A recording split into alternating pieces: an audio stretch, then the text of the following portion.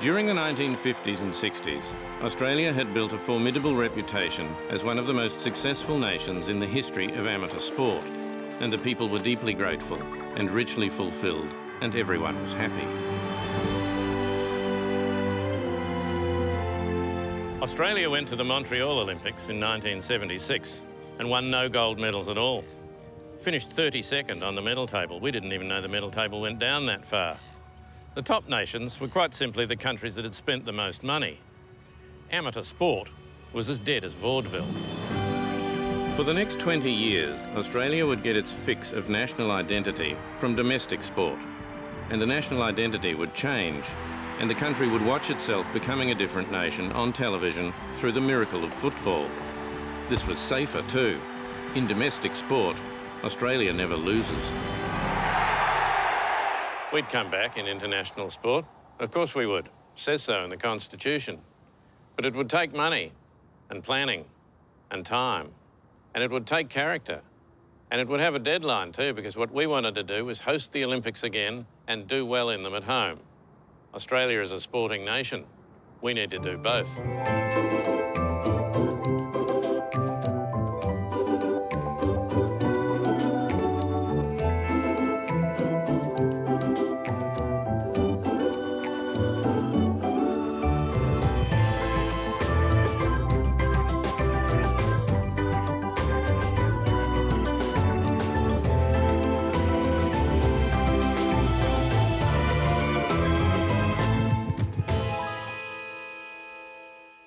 Both my wife and I um, look forward to meeting you. By that time, uh, it'll, I suppose, be known who's been successful and who's not been successful. In 1976, Australia went to the Montreal Olympics with a team of top-flight, world-class amateur athletes, just as we'd always done. The ABC would like to warn viewers that the following sequence contains material which many of you might find upsetting. I always say I was part of the most unsuccessful Australian Olympic team ever. In 1976, we didn't win a, a gold medal at the Olympics. I think uh, that's considered by many the nadir of, uh, of our Olympic performances uh, in, in living memory. And Australia went to the Games with some chances. Holland is not going to win, I don't think. He's fallen back to third place. Stephen Holland broke his own world record in the 1500 metres freestyle, but it wasn't about the time. He was a gallant third. Other countries had just got better. Goodell, Hackett and Holland, and there's a great race. A false start. We couldn't take a trick. Another good chance was Raelene Boyle. She'd won silver at the previous two Olympics, and her campaign in the 200 metres was going beautifully until she was disqualified for breaking in the semi-final. I know I didn't break, and I took that for granted. Some days I think I should have just turned around and chased the field and passed them, and even if I didn't get to run the final, just sort of been naughty, but they probably would have shot me.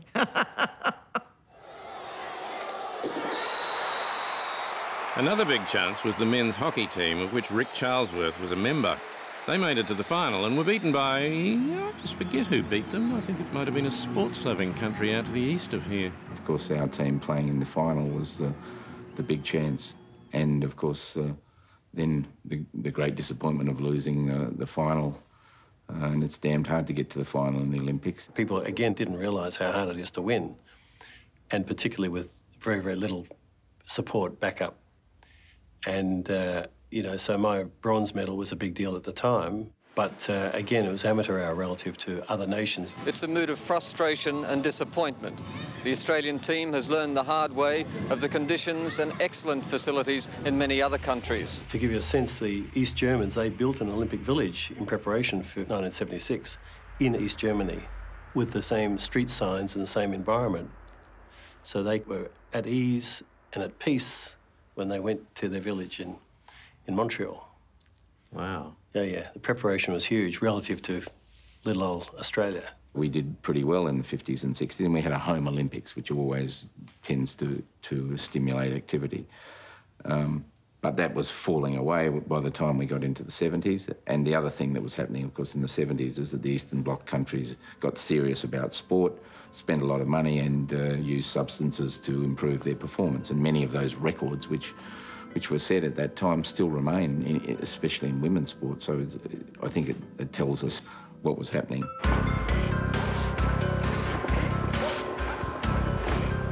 There was now a wide gap between these highly professional sporting apparatchiks and good honest doers like Australians. Australia had an image of itself that was based on something that wasn't happening anymore. Crisis. Talks were held at the highest level. Did we exist properly as a nation without sporting success? What did we want from sport? Healthy children and fun in the weekends or continuous international sporting success? We wanted continuous international sporting success and we were prepared to pay for it. It became clear, I think, that if we weren't going to get a lot of extra support for sportsmen and women, we were going to go on falling behind um, and that, to me, almost put the question in simple terms. Were we going to be in the race or out of it? We swallowed hard and built a dirty, great big government-funded sports training institute. It wasn't actually called the Australian Institute of Underdogs. Underdogs wouldn't fit on the sign.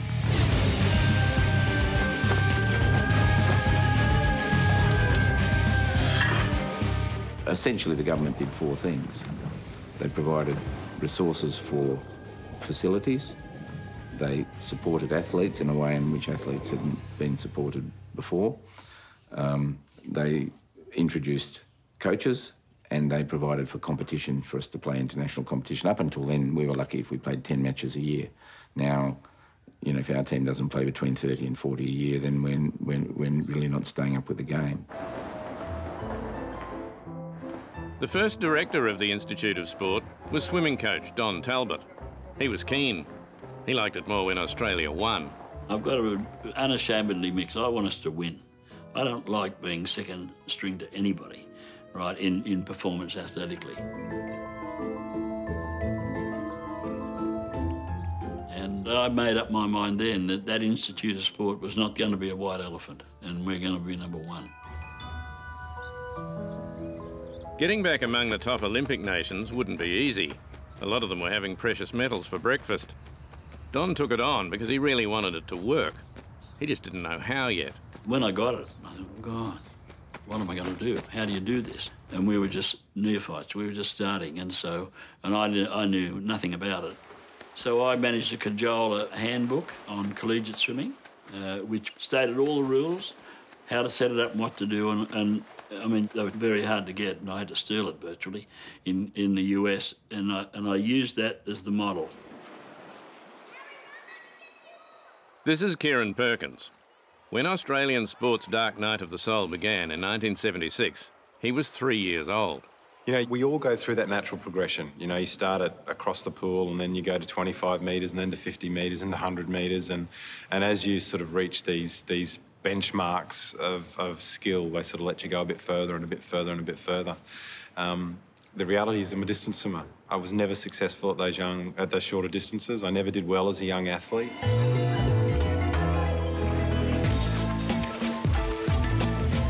We used to have these big big polystyrene kickboards, the old style polystyrene, and they break them in half and break them in half as you progress. Like your progression was built around the size of the kickboard that you had, and, and I sort of got to the point in the end where I had this inch piece square of foam that I, I needed to be clutching in my hand, or I'd certainly drown. You know, it's uh, it's funny how you uh, how you remember these things. The men's 1500 metres freestyle is the Olympic event Australia has most dominated. Since 1920, 42 Australians have got to the final in this event and 22 of them have won a medal. At the age of nine, Kieren had a bad accident running through a plate glass door and he took up swimming as part of his recovery program. Kieren's recovery from that accident would perfectly match the recovery of the nation. Until further notice, we would turn up at international sporting events as a remote amateur nation with a population of 12, some borrowed equipment, and a bit of a niggle in the hammy. This so called underdog phenomenon really appeals to us. I mean, there's something of the underdog, the under mongrel, uh, in Australian culture. If we lose, well, we were the underdogs anyway, but if we win, this is much more spectacular than being the predictable favourite who won. After Montreal, one man saw Australia's need for affirmation and national confidence in sport not as a matter of government policy, but as a market.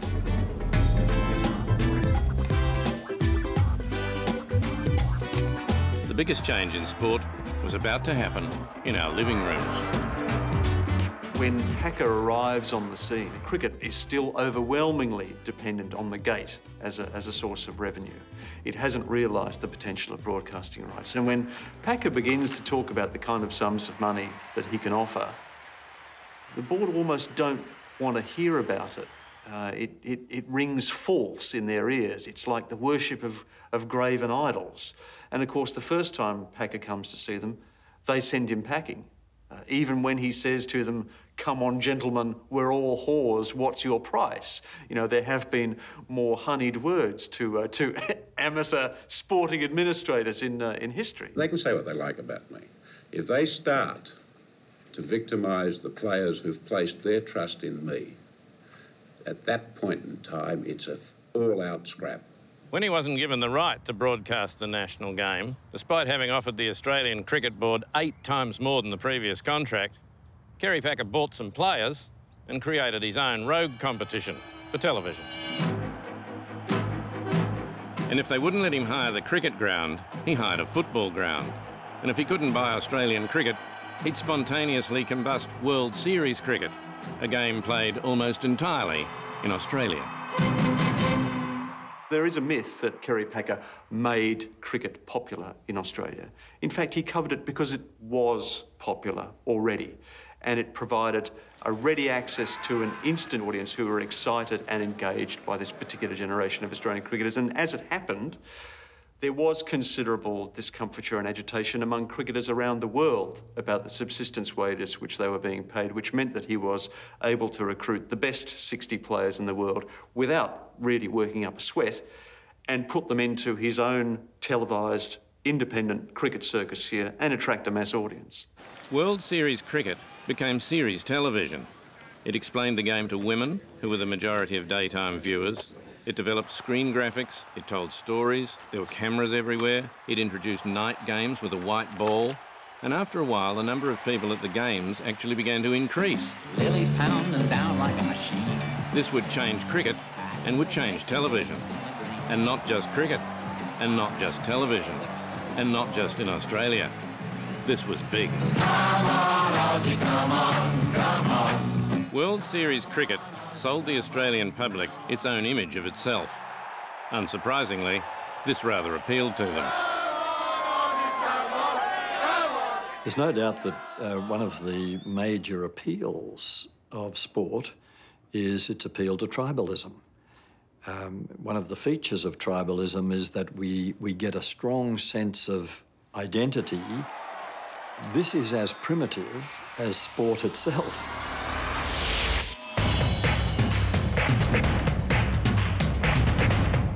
Television mediating what tribalism is can get confusing. Sport is marketed as a celebration of what it is to be Australian. Australians hitting other Australians and other Australians being stretched off is then an expression of everything we stand for. It's a curious thing, uh, and it's very obvious in Australia, that we're trying to import some kind of nationalist fervour into games where the teams are not national teams at all. I mean, the idea that at a state of origin rugby league match, you would play the national anthem before the game. You're sort of looking around. So, so which other tune are they going to play? you know, for the other mob? No, no, it's all us. Uh, state of origin football exists in rugby league purely for Queensland to demonstrate that um, that giant chip they've got on their shoulder can occasionally be removed by defeating the despised people from the south.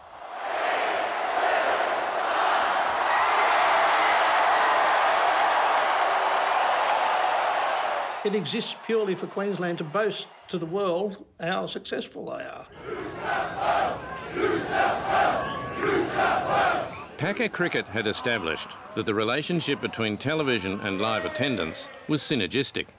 The crowd had become the television audience, and tribal rivalries were big business. This was new, and like everything new, it was old. In ancient Rome, they used to say the way to keep the masses happy was to give them bread and circuses. It's a fair bit more sophisticated here in Australia. You can get a pie and sauce here. What a kick by Jimmy! What the kick! Oh. In the early 1980s, football was absolutely on the bones of its arse. You know, three or four of the clubs were facing extinction. Crisis is an immense begetter of change. It suddenly begins to realise that if it's going to prosper, that it needs to be a national code. So that's the way to maximise broadcasting revenue. That's the way to, to maximise advertising revenue. We can't go on being a Victorian sport. Rugby League immediately identified that it was a game built for the box, insofar as it's a rectangular field. Um, it has a play the ball about every 30 seconds or so, which will allow the camera to focus right on it. It has a moving defensive line and a sweeping attacking line. It is perfect for the camera. Television had become a very big business indeed, and it had worked out that sport had everything. It had heroes, it had stories, kids loved it, advertisers loved it, it was on every week, and at the end of every contest, you got a result. Good. When you watch sport, of course, it's not just sport you're watching. In the 50s and 60s, nearly 3 million European migrants arrived, and as their children were born and grew up here, the cultural mix began to change. They were called New Australians, an ecumenical and non-discriminatory term used by the open and very welcoming host community to describe the Poms and Wogs and Dagos who are now all over the joint eating strange and vaguely alarming food. Our vast immigration policy, which is the most important thing that's happened in Australian history. We've transformed this country by this massive uh, immigration brought people from about, about 180 different countries. It's uh, enriched us uh, economically and culturally, uh, uh, sporting. Uh, when I see these names in the cricket side and the football side that have obviously come from other non-British backgrounds and cultures, I think it's just, just a marvellous vindication of, of what's happened. This being Australia, these changes were seen in sport before they were seen in many other places. Post-war migration policy was built around the need for skilled and unskilled labour as the country develops and to populate. I mean, it wasn't a policy about recruiting great sports people to the country, but it was about um, enhancing its economic potential and development. Um, but in that, um, you do inevitably get people who are going to uh, excel in other parts of uh, society, and sport is one of them. That marvellous mark. One of the great sporting pictures of all time. I described it as the moment when multiculturalism arrived in Australia because, you know, all of a sudden this great moment is supplied with a man with this name, Jesaulenko. Alex Jesaulenko, bringing oxygen. Look, my mark has a few things going for it. It's played in front of 121,000 people. It was a grand final. It was against Collingwood. It was in black and white. It's, uh, it's got a few ticks. oh, I tell people that I took better marks at training. We began to see completely new names starring in sport on television. Names we didn't even know how to pronounce properly, like Robert.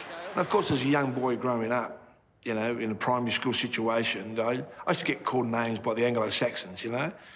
And uh, I think to myself, well, how can I get back to these guys? And because you could play sport, because I could run and jump and skip and hop and all that sort of things, I, I took the game up uh, of AFL football, as we call it today. And all of a sudden, you know, people wanted to know a lot more about you and uh, where you come from, and they wanted to be part of you and your friends because you could play footy at a young age. And plus, gave me the opportunity to fix up a few boys too.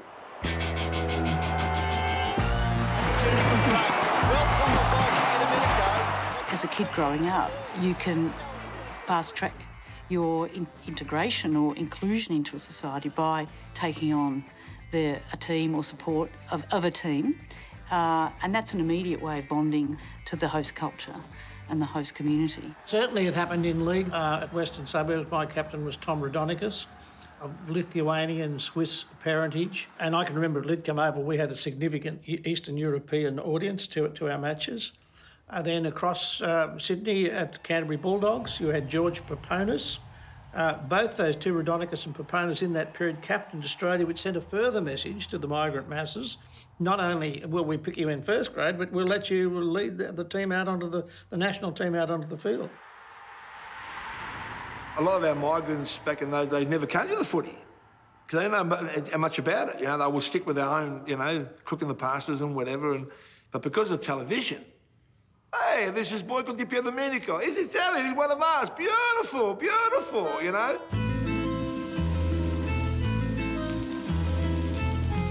And then when you walk the street, they said, hey, I'm Italian. What you've done is beautiful. Thank you, thank you. And you think, well, yeah, what have I done? But you've allowed them to live in this country in a, in a, in a, in a, in a better place, you know?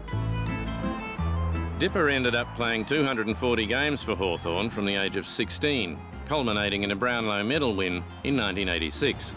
You know, I've won some great awards in this uh, game, um, you know, the Brownlow and, and uh, premierships, which is what we play for, and it's just an amazing journey I've been on. But one of the, one of the most amazing awards I ever won was Italian Sportsman of the Year. That come from nowhere. I got an invitation. We now have an Italian Sportsman of the Year.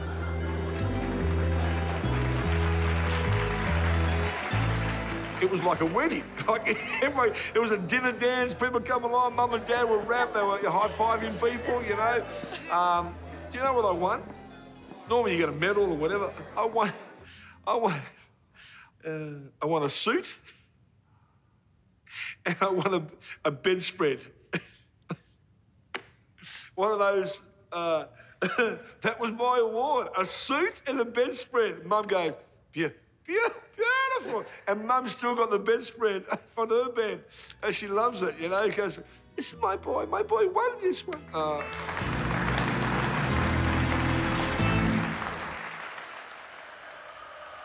Another option for European migrants was to play the game they brought with them.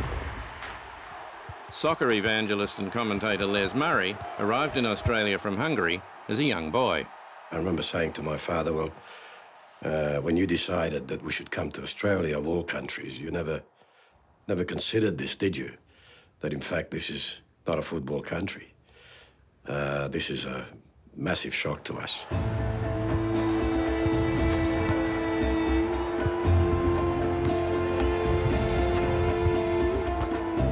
Some kids actually told me that uh, they were convinced that rugby league was the world's most popular sport. And that's how isolated a society Australia was uh, at the time.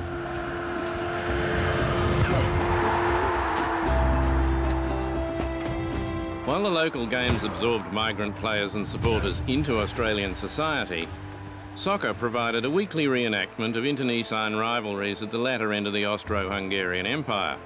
To describe the broader Australian public as confused is probably to overestimate their interest. Sydney's leading soccer club, Apia Leichhardt, is challenged by St George Budapest in the all-white. The other thing that sport can do that's negative, of course, is entrench prejudice, especially racial prejudice. Uh, we, we saw that for years and years and years in soccer in Australia, where soccer teams were actually ethnic teams. And so uh, when the Serbs played the Croats, uh, or whatever it was, this, I mean, this, this was ancient tribal hostilities breaking out every Saturday. Public address announcements trying to get the crowd off the park. Olympics fans went berserk. This image was a barrier uh, to further progress because the population at large felt that this is the WOG's game and we don't want to be part of that. So they felt uh, that it was not, it was un-Australian to follow soccer, not because the football wasn't any good, but because that was the game for the Wogs. Caught in the middle of this savagery was City's goalkeeper Tony Pizzano. That exit tunnel must have seemed an eternity away. But for the Australian public, the Lilliputian rivalries that characterised local soccer paled into insignificance when the biggest competition in the world came to town. before a packed crowd at the Sydney Sports Ground, uh, we had a chance to see the Socceroos in a World Cup qualifier at last. Australia versus Israel. And as I looked around that stadium, 33,000 back to the rafters, that was capacity. It was uh, all the colours of the rainbow in terms of the racial and ethnic mix of the audience uh, that was there. Uh, but the difference was that these people, uh, this time, were all cheering for the same team. It was there that I first felt really Australian. Here's the chance for Australia. Abonyi to Barnes, to Watkins, and that's the equaliser, one all. But Australia's effort has come too late. The match is just about all over, and Israel have won the series on aggregate two to one. Even though we lost, it was here that a lot of Australian sports fans took up an interest in soccer. This was the World Cup, and these weren't just wogs, they were our wogs. They'd gone up a division.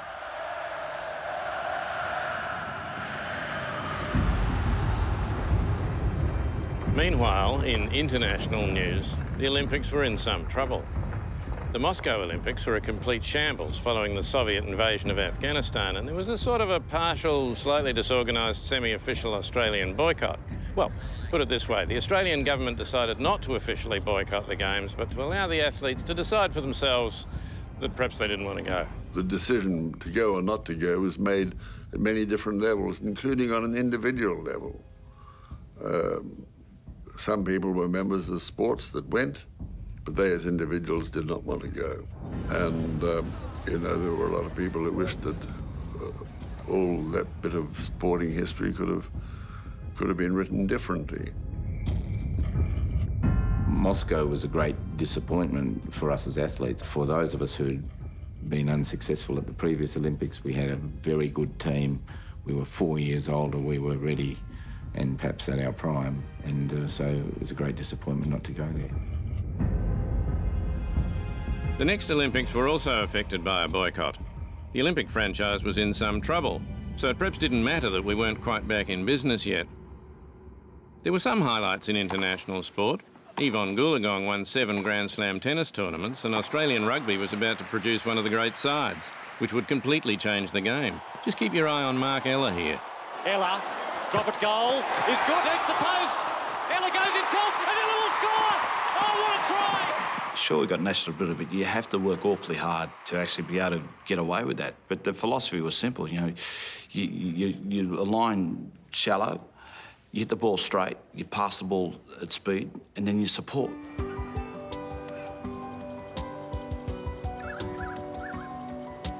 Mark Ella grew up in a part of Sydney where Aboriginal people have lived for seven and a half thousand years, but which is named after a French navigator who spent six weeks there in the summer of 1788. We were just on the edge of the, the, the mission at La Perouse. I mean, I guess the sport was a distraction uh, and, and a way out. On the weekends, it was divide and conquer because mum and dad didn't have a car. You know, they had about eight children playing sport, whether it was netball, rugby league, rugby union. So they'd, they'd mum would go one way, dad would go the other way, and if they, they got lifts to, to the next lot of games, fine. If not, they just jumped on a, on a bus and, and just sort of went everywhere. And, and without their support, and, and all my brothers and sisters will say, you know, we probably would have done other crazy things, but they supported us through thick and thin, and they did it, you know, without access to, to cars and, you know, just got lifts, and but they were terrific.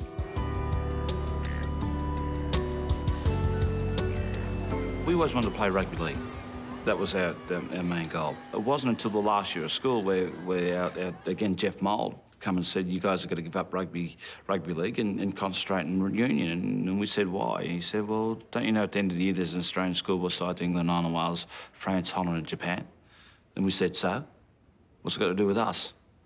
And he said, I think you guys can make it. And we said, we'll never make it. We're opposite Long Bay Jail. And he said, you guys are idiots. Don't you know I'm coach that team? So we said, OK, fair enough, we'll give it away and give up rugby league. And we concentrated on rugby union for the last I guess, half of the, our final year at school. And, you know, we made that schoolboy side, and I guess the rest is history. The schoolboys compiled a magnificent record in its recent tour of Japan, the United Kingdom and Holland, and become known as the new Invincibles. This schoolboy side, which contained Mark and two of his brothers, became the basis of what would become the most successful rugby side in the world. Uh, it was just a phenomenal side. It's just, uh, I guess, once in a, in a lifetime that you get a bunch of players to play that style of rugby. And uh, again, I think there were nine or ten Wallabies, and, and, and, obviously Wally Lewis went on to be one of the immortals of, of rugby league. Again, we're playing as schoolboys. We didn't think what we were, the impression we were making in, in Australia. And I remember again coming home, and you know, we, we got up in the morning and, and Mum gave us three Daily Telegraphs and said, you made the paper. And she gave us the sports side, you know, first. So we were sort of looking through the paper and going, Mum, we're not in the papers. What, what, are you talking about? And then said, turn the paper around. And on the, the whole page of the Sydney Telegraph was Glen, Gary and I in, in our dirty England jerseys that we hadn't had a chance to wash. We were on the whole front page. The whole front page was the three Ella brothers. Outside the big cities, kids who dreamt of a future in sport relied on being talent spotted. And as the sports got bigger, the business of talent spotting became more competitive and the talent spotters went further out.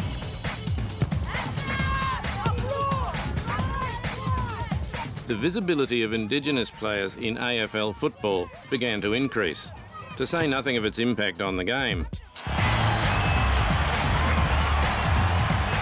The great example in this period was probably Kevin Sheedy's famous Essendon side. Kevin Sheedy has done it again for the Bombers. He gets a group of them in, and then he constructs this young side that no one really gives a chance. They win it. And in the grand final, Michael Long wins the Norm Smith medal. And one of their best young players, Wanganeen, who's Aboriginal, he wins. He's the first Aboriginal player to win the Brownlow, and that's that changes everything. That changes everything. The AFL have stolen the high moral ground on this, believing that they are the, the lofty custodians of, of all that is proper about how to handle um, racial slurs on the football field. Um, rugby league dealt with that problem about 40 years, 50 years earlier, simply by making Arthur Beetson, the, an Indigenous guy, captain of the Australian uh, rugby league team. Sport can um, make us feel as though something has been achieved because of success in sport, where there's still a lot more to be achieved, particularly when it comes to things like um, dealing with problems of poverty or marginalisation in a society. What happens on the sports field does have an influence. I think it has a big influence. But um, you wouldn't want to be evangelical about the influence it has. And, um, and racism, I mean, in, in, in its crudest form still exists and can still be found relatively easily.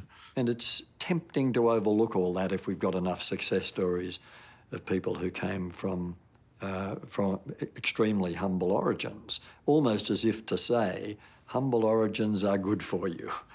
Uh, and that's, that's a pretty odd argument that leads to some uh, unattractive conclusions.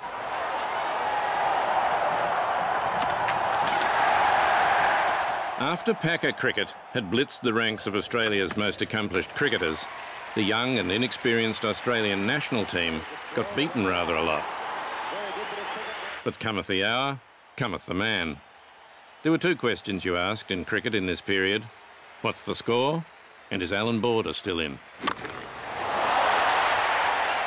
Not since Bradman has a player been as integral to Australia's fortunes as Allan Border was in that period of Australian cricket austerity in the 1980s. Last night ended with a sight that Melbourne cricket fans hadn't seen for some time.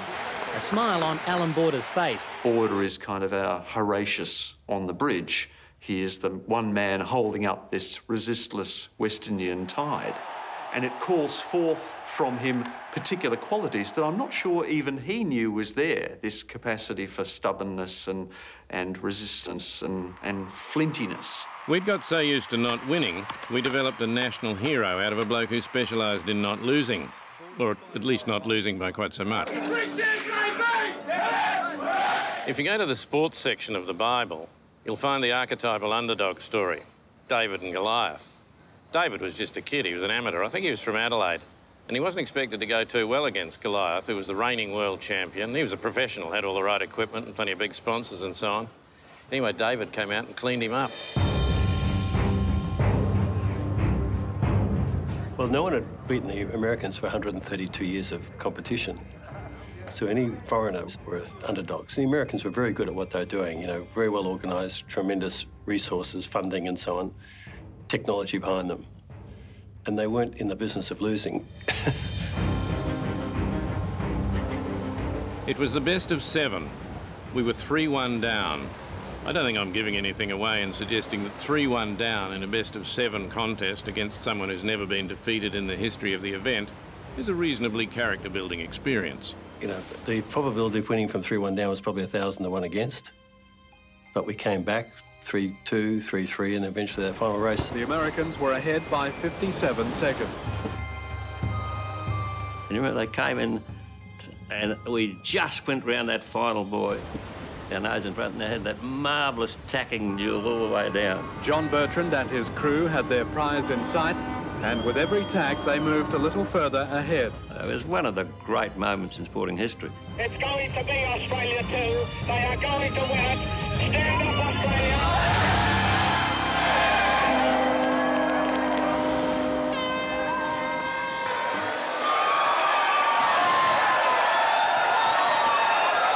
They going to declare a public holiday? Yes, every, no one would want to work today at any rate, would they?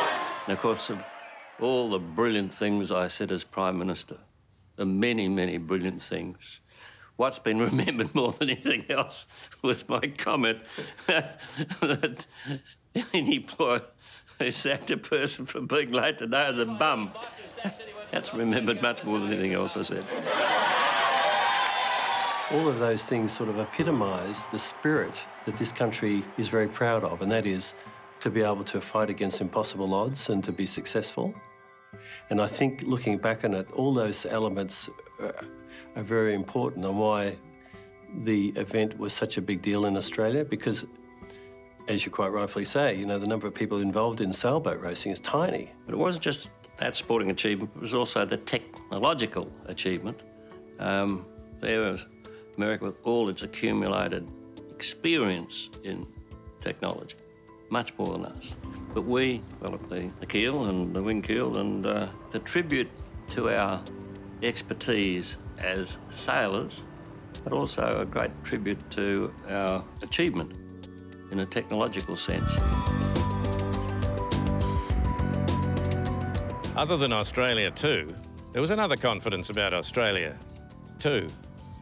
Protective trade barriers were lowered. The dollar was floated. We stopped God saving the Queen and we started advancing Australia fair. Superannuation grew as people took responsibility for their own retirement. Sky didn't fall in. Maybe we were okay. Maybe we'd grown up. Perhaps we didn't need sport any. Oh, hang on. Shh. This could be important. The, the winner is Sydney. What a great moment. And this was quite nice timing. By the late 1980s, Australia had quietly begun to improve its Olympic results, often with heroic individual underdog performances. Glynis Nunn, Dean Lukin, John Sieben, Duncan Armstrong, and Debbie Flintoff King. Don Talbot was now the head coach of Australian swimming, and what he wanted to do was to turn individual swimmers into members of one mutually supportive unit, Team Australia. Now, Don turned up and said, I don't care who you are. I don't care where you come from. I don't care what state you live in. I don't care which club you train at.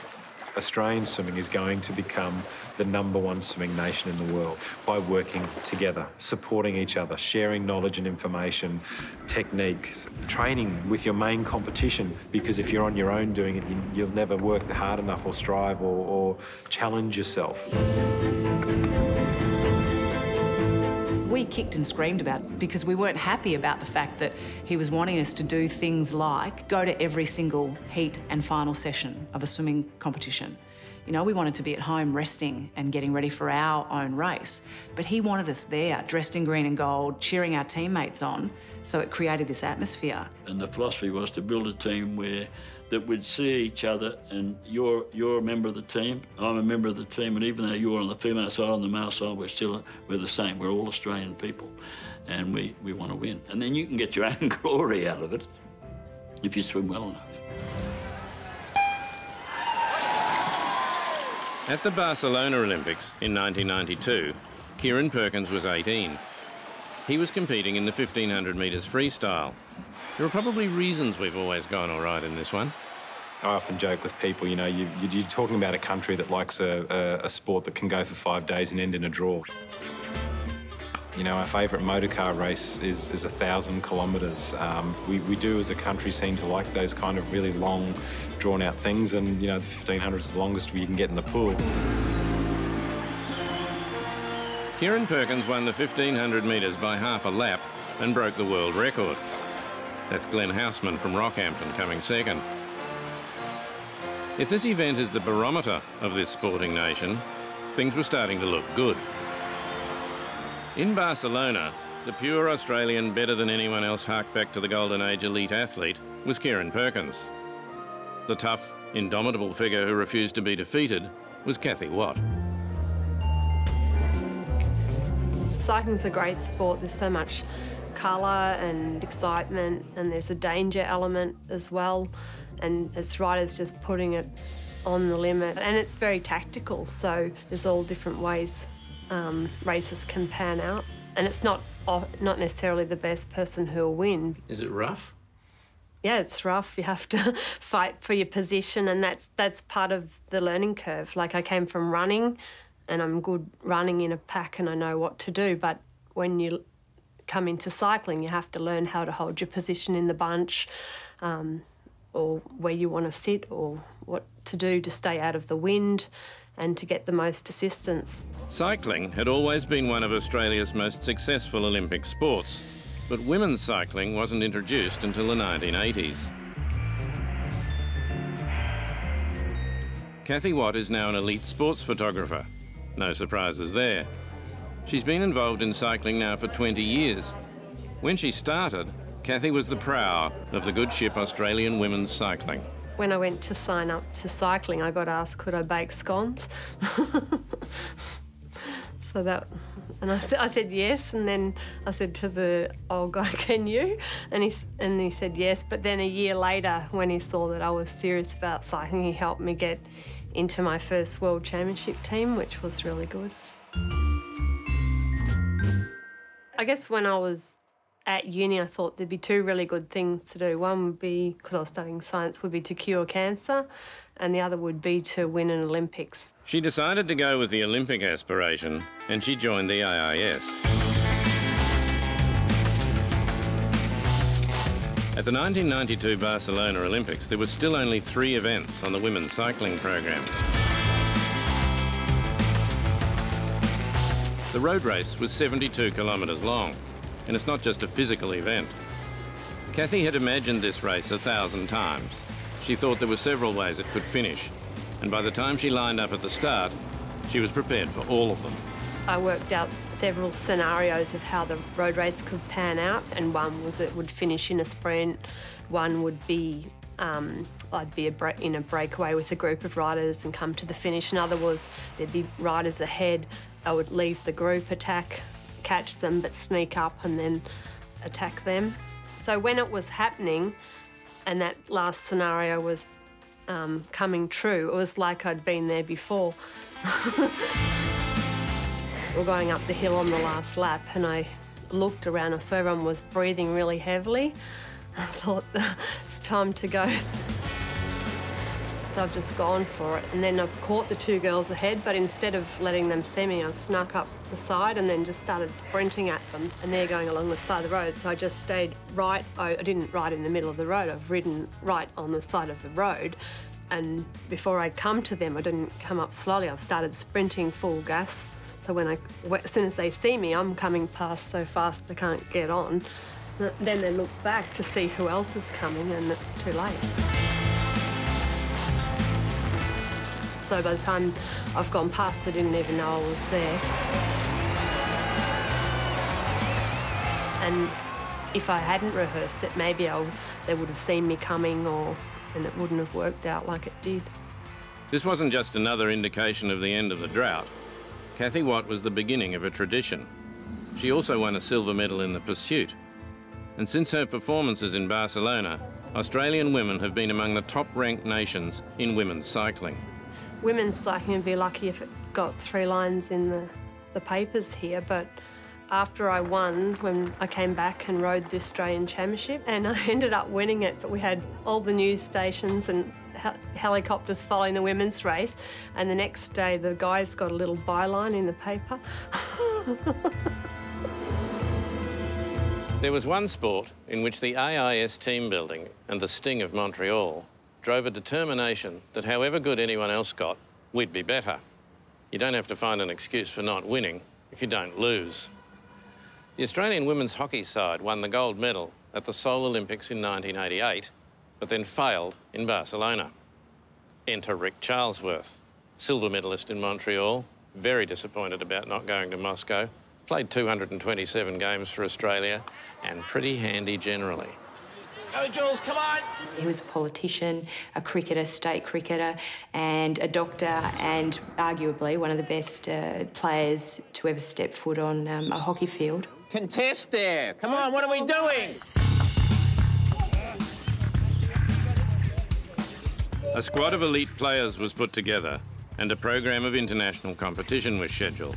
I had gifted athletes, and uh, I understood that, and I was lucky. I knew if you want to be a successful coach, you better have gifted athletes. Ric was very good at, at bringing everyone together, and um, whilst acknowledging individuality, you had to conform to the, the team ethos. And I hope we can go one better and win the Olympic gold in Atlanta. Thank you very much. I actually think teamwork is a, is a moral issue because moral questions are about knowing what to do and then doing it. And most of us can decide what's the right thing to do, whether or not we do it sometimes is, is the question. But in a sporting environment, it's about doing the right thing at the right time for the right reason. Ric Charlesworth was building a winning machine. Between 1993 and 2000, the Australian women's hockey team won every major competition. One of the things that you have to do even though it doesn't make your record look so good, is you have to be you have to take risks and experiment. Otherwise, you don't build depth in your squad. No, no, no, Marty, no, no, no. You got to come back through there. You know the rules. Winning all the time reads well, and it fits the job description perfectly. The danger, of course, is that you become overdogs. And a team that has been designed and trained to win continuously might need to be inoculated against the risk of defeat by being defeated. It'd hurt, but it'd be useful in the long run. The belief was that we had this chronic achievement syndrome going on. And of course, the, the, the, coaching staff were gravely concerned about this because they thought that we were going to be a bit like near enough's good enough and we'll just turn up and we'll, we'll win again. So they made it uncomfortable for us. After we had been successful for a while, the challenge was to maintain that over a period of time. I didn't believe it was possible to do what we did when I started. No one wins by chance at the Olympics, you've got to earn it. The women's hockey team won gold at the Atlanta Olympics. Things were going well with the winning machine. And on the final night of the swimming program, we would witness a very rare phenomenon indeed the supreme talent and the underdog in one person in a single event. Kieren Perkins would swim in the 1500 metres freestyle. He was the defending Olympic champion and the world record holder. He was a dominator, and yet he was in terrible trouble. There was a day and a half between the heats and the finals, and being part of that team, we didn't know what to say to him. I think most of the team ignored him for a day and a half because it was, what a shame. You know, he's won by 25 metres in Barcelona, and what a horrible way this is going to be for a great champion to go out and potentially finish his career finishing last in the 1500. You know, there was rib complaints and his stroke was lopey and it wasn't working the way that it was. He'd struggled to get into the team. He hadn't gone well in the heats. He'd only scraped into the final by 0.24 of a second. He was swimming in lane eight, which is the graveyard shift for swimmers. We're brought up to believe that that's the worst lane. That's the lane you can't win from because it is the slowest qualifier. You are the worst in the final if you're in lane eight, so therefore, obviously, you've got no chance. 30 laps ahead of him. Lane 8. No chance whatever. The stage was now set for the most delicious confection on the Australian sporting menu. When he went into the water, Kieren Perkins was the world champion and the biggest underdog in history. You know, my best race plan was to get out fast because whatever speed I set, I could hold that all race. He got out very fast. The question for the next quarter of an hour would be could he stay there? Being in lane eight, I couldn't see the guys that I was racing against. I think if I was right beside Daniel in the final, I probably would have paid too much attention to him and not swum my best race plan. Halfway through the race, and Kieren's still in front. We were thinking in the stands, when does he hit the wall? When, you know, in swimming terms, we talk about dying. When is he going to die? When's he going to hit the wall and fatigue?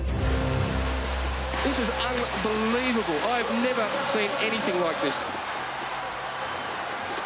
Because I was in lane eight, because I couldn't see him or any of the other guys in the middle of the pool, the only choice I had was just to get on with my race and swim my race the way I needed to swim it.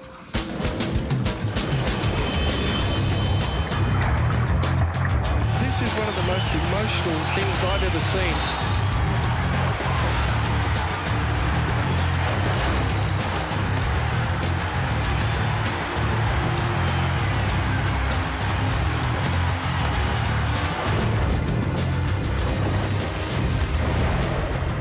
When you look at a modern Olympic swimming pool, um, every lane is two and a half metres wide, every lane is 50 metres long, every lane is the same depth. Um, every lane has nice big round lane ropes in it. Um, they are actually all of the same. It's the same water, it's the same distance. You've just got to get over the fact that you were the slowest qualifier and give yourself a shot. One of the great swims of all time. This is all about courage. You are seeing the best of the best. You are a superstar, Kieren Perkins.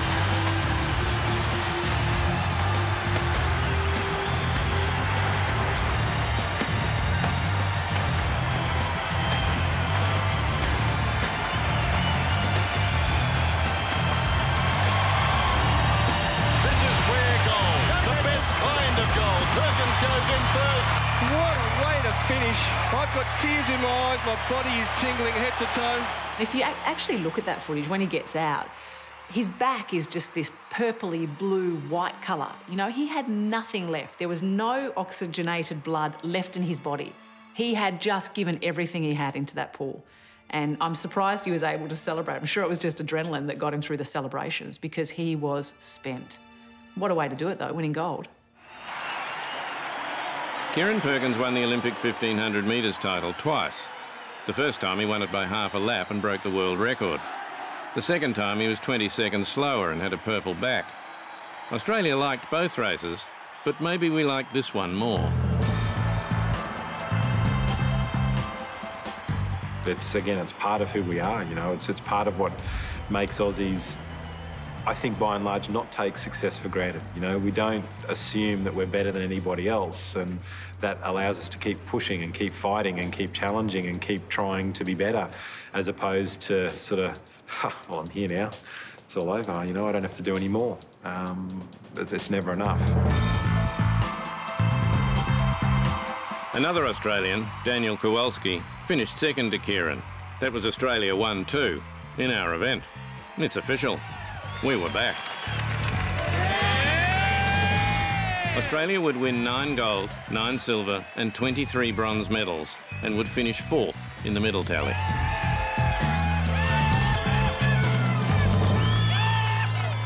The Australia that approached the 2000 Olympics would be a very different country from the one that had hosted the 56 Olympics. In 1956, a young nation of 9 million people had tentatively opened its doors and invited the rest of the world in. At the dawn of the new millennium, it would be a more mature nation of 19 million people, a more experienced and culturally diverse people who would confidently invite the rest of the world to come here again and be thumped again in a wide range of different sporting disciplines by a completely new generation of confident and very, very determined underdogs. And there was one event that gathered up the Australian community as one, and with it the international sports community, including all the people who don't even think they know anything about sport, and it made them all feel good at the same time. In under one minute, something happened that went beyond Australia and beyond sport. If you don't want to know the result of this race, don't watch next time. There's a fair bit else happened in sport since then too. Up to you. We'll be here anyway.